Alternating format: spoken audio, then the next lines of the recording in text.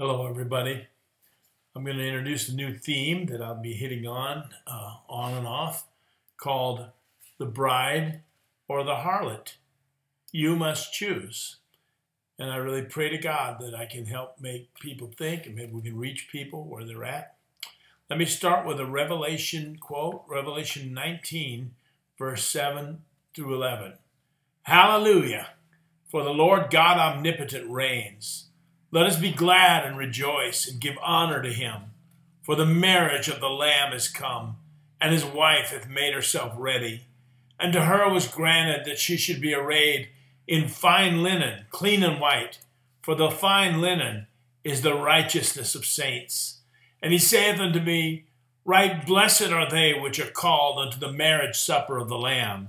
And he, he saith unto me, These are the true sayings of God. Revelation 19, 7 through 11. I love the church. From the time of my conversion to Christ 40 years ago, I knew that I was called to partake in the company known as the bride. What a privilege to know Jesus, to anticipate finally seeing him, to be called to identify with him in this present evil age, even if it means accepting rejection and reproach in this life. The true church is the bride of Christ. We, the body of Christ, are the bride.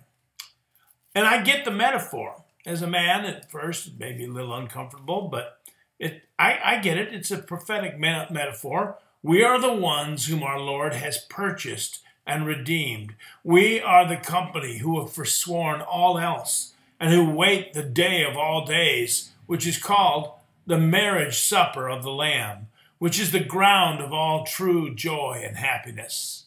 And we hold to his word while we wait, which he gave us. We won't forsake it, for he has never forsaken us. We love him because he loved us first. In fact, we didn't choose him, he chose us to be with him. We merely accepted. In prophetic imagery, a spiritual body of worshippers is likened unto a woman we hear the prophets speaking in God's name to the daughter of Zion, tenderly calling to her, wooing Israel as the wife of Yahweh, the bride whom he sought and whom he rebought out of the slave market, as in Hosea. Israel's seen as being pregnant with a man child in the deep and mysterious vision of Revelation 12, whilst the dragon, the serpent of old, awaits the birth that he might destroy the man child before he can accomplish his mission. That child is the seed of the woman who eventually crushed the serpent's head. The New Testament, too, speaks of the church as the bride, the one who makes herself ready, and who, in the crisis leading up to the wedding, when loyalties are tested or when pressured to defect mount, the espoused virgin remains true. She is attacked, despised, rejected in this world, because she has been espoused to him who loved her and washed her in his blood. But she waits patiently for the marriage and pre- prepares herself, as all brides do, by good works. Both the book of Revelation and the book of Proverbs have this in common that the bride or is the major theme in each of them. Remember in Proverbs that the king's son must pick a bride. We hold our breath early in Proverbs when the wrong woman presents herself almost immediately, for we are hoping that he picks the right one. And I quote Proverbs 2 16 through 19 that discretion will de- deliver you from the strange woman, even the stranger which flatters with her words, who forsakes the guide of her youth and forgets the covenant of her God. For her house inclines unto death, and her paths unto the dead. None that go unto her return again, neither take they hold of the paths of life. It isn't as simple as merely picking the right one. It gets complicated, for an alternative is presented. The bride, the bride is out there, but so also is the strange woman. And in parentheses, strange means foreign, i.e., foreign religions. We're so relieved by the time we get to the end of Proverbs, when the king's son picks the virtuous woman, as described in Proverbs 31.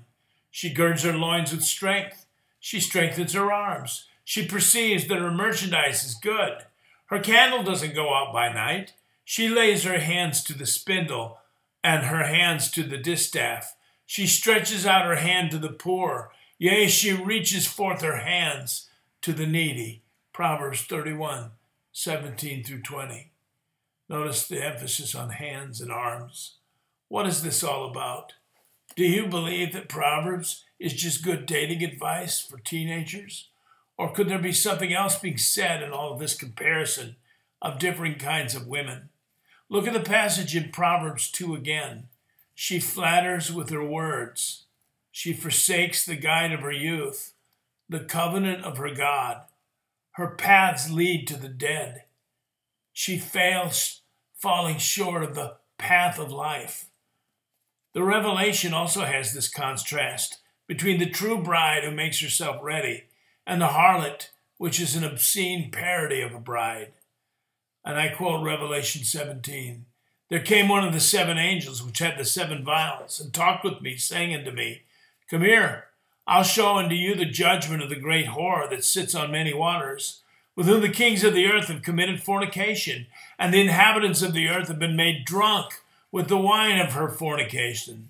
So he carried me away in the spirit into the wilderness and I saw a woman sit on a scarlet colored beast, full of the names of blasphemy, having seven heads and ten horns. And the woman was arrayed in purple and scarlet color, and decked with gold and precious stones and pearls, having a golden cup in her hand full of abominations and filthiness of her fornication. And on her forehead was a name written Mystery Babylon the Great, the mother of harlots and abominations of the earth. And I saw the woman drunk with the blood of the saints and with the blood of the martyrs of Jesus. And when I saw her, I wondered with great admiration. Revelation 17, 1 through 6. We are horrified, like John was, at this spectacle. The Apostle John only knew a persecuted, despised, impoverished bride. Who is this gaudy, blasphemous, powerful in worldly terms, drunken harlot? in the prophetic imagery. The women, once again, represent spiritual bodies, congregations of people, the daughter of Zion, the wife of Yahweh, the bride of Christ, the harlot.